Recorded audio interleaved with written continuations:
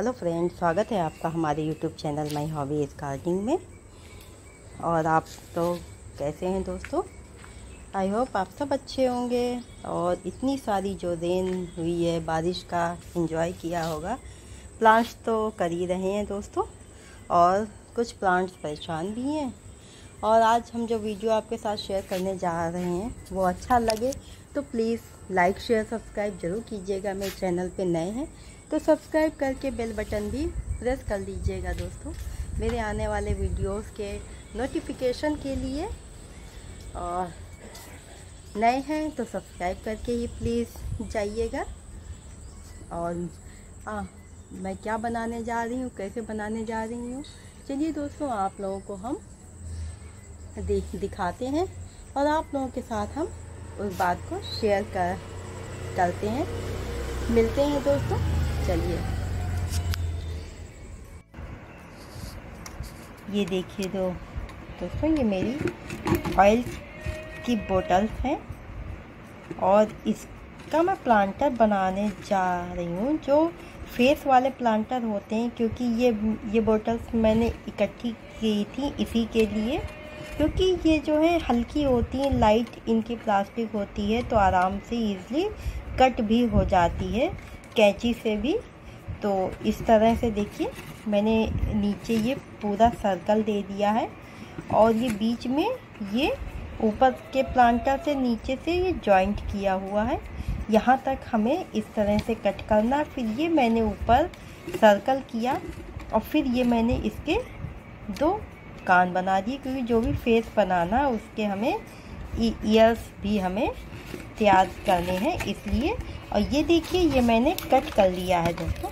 ये देखिए, नीचे जो मैंने सर्कल किया था, उसको कट किया। और ऊपर से और नीचे में जो ये जॉइंट था, उसको भी कट कर दिया। और फिर ये जो मैंने ईयर्स मैंने मैंने बनाए थे, उनको भी मैंने कट कर लिया इस तरह से।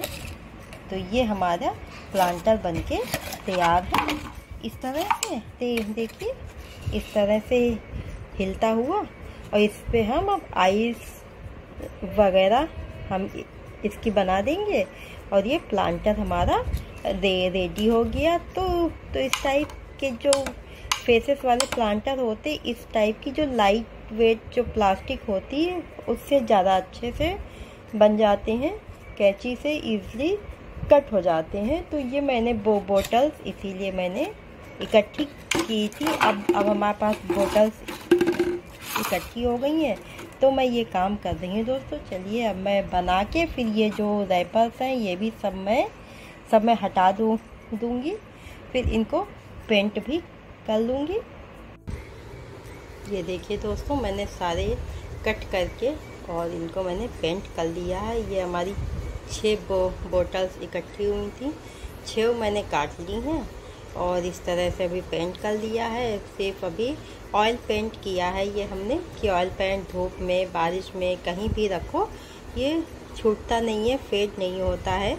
इस वजह से ऑयल पेंट किया है मैंने, और ये हमारे पास थे डिब्बे, जो डिस्पोजल आते हैं जब हम बाहर से कोई खाना वगैरह ऑर्डर करते हैं या फिर ड्राई फ्रूट्स भी होते हैं, इसमें इनको भी हमने पेंट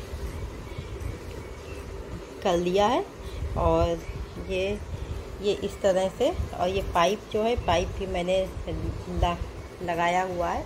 और डिब्बे के पीछे ये एम सील मैंने ला, लगा दी है, जिससे कि ये ये वहीं के वहीं टिके रहें।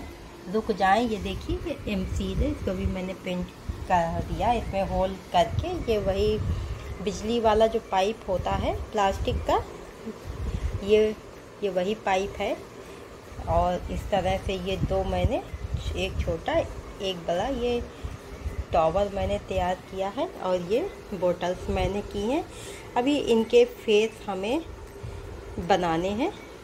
फेस जब बना लेंगे, तब दोस्तों आप लोगों के साथ फिर से मैं शेयर करूँगी और जब फेस बनाऊँगी तो मैं आप लोगों को मैं दिखाऊँगी। ये मैं पेंट कर रही थी तो पेंट में, हाथ में हमारे पेंट लग गया था, इसलिए मैं आप लोगों के साथ में ये शेयर नहीं कर पाई क्योंकि पहले मुझे दिखाने का याद नहीं था और फिर मैंने पेंट छू लिया था, इसलिए मैंने फ़ोन को फिर टच नहीं किया कि फ़ोन में पेंट लग जाएगा।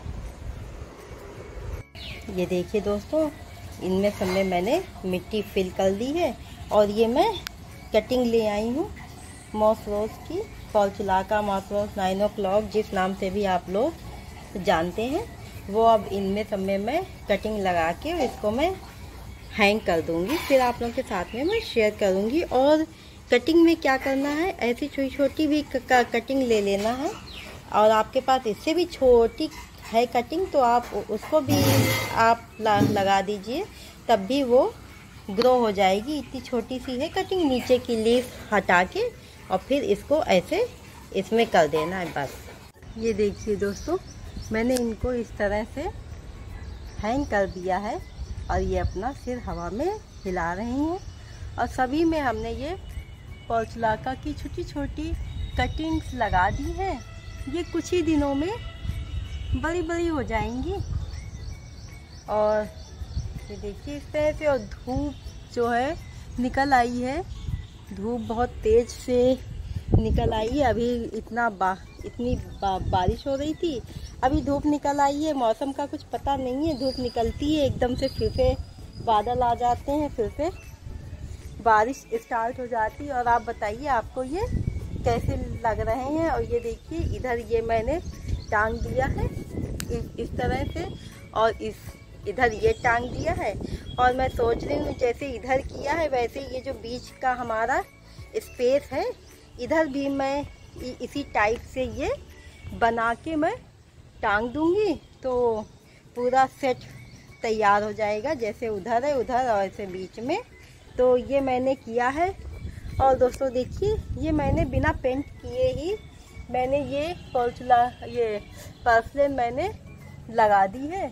क्योंकि पर्सलेन से ये बो बोटल्स जो हैं, ढक जाएँगी। देखिए, इस तरह से ढक गई है तो कुछ भी नहीं दिख रहा है तो पेंट करने की ज़रूरत नहीं है। अगर आपके पास इस तरह से, इस तरह से ग्रीन बोतल है तो भी पेंट करने की ज़रूरत नहीं है। पर्सलन और पर्स लागा इतने बढ़िया प्लांट हैं कि पूरा ढक ले, लेते हैं। ये वाली तो हमने पेंट कर कर दी थी। और इसमें से से मैं कटिंग ले, लेके कर रही थी। बारिश में भी ये नहीं था। अभी मैं इसको लेके आई हूँ। यहाँ पे मैंने हैंग किया है। अब ये बारिश में और भी अच्छे से अच्छे से ये ग्रो हो जाएँगी। और देखिए दोस्तों, इस तरह से लग रहा है। और आप लोग बताइएगा आपको कैसा लग रहा है। आप लोगों को अच्छा लगा हो तो प्लीज़ लाइक शेयर सब्सक्राइब ज़रूर कीजिएगा मेरे चैनल पे। नए हैं तो सब्सक्राइब करके बेल बटन भी प्रेस कर लीजिएगा दोस्तों मेरे आने वाली वीडियोस के नोटिफिकेशन के लिए। और इसी तरह से मैं और भी डी आई अपने बनाती रहूँगी क्योंकि हमें बहुत शौक़ है डी आई बनाने का। और मैं हमेशा ही कुछ ना कुछ धीरे धीरे जब भी टाइम मिलता है तो अपने करती रहती हूँ कुछ ना कुछ। तो मिलते हैं दोस्तों नेक्स्ट वीडियो में न्यू टॉपिक के साथ। और इसके साथ आप लोग हमारे टेरिस गार्डन की फुलवारी भी देख लीजिए। अब जब मैं छत पे आ ही गई हूँ तो आप लोग देख लीजिए इस तरह से कि हमारा टेरिस गार्डन भी अच्छे से चल रहा है। बढ़िया सब सब ग्रोथ हो रही है, खूब अच्छी फ्लावरिंग भी हो रही है कि मैं छत पे आती हूँ तो मुझे देख के बहुत अच्छा फील होता है।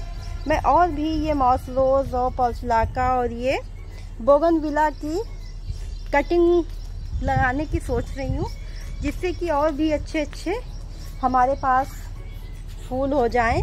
ये मैंने टायर पे ये मैंने रखे हुए हैं, और ये मैं सेटअप अभी मैं तैयार कर रही हूँ दोस्तों। जब मैं सेटअप तैयार कर लूँगी तो ये भी आप लोगों के साथ में शेयर करूँगी, और ये मैंने कैसे बनाया वेस्ट मटेरियल से टोटल वेस्ट मटेरियल से ये कैसे बनाया, ये भी आप लोगों के साथ में मैं शेयर करूँगी।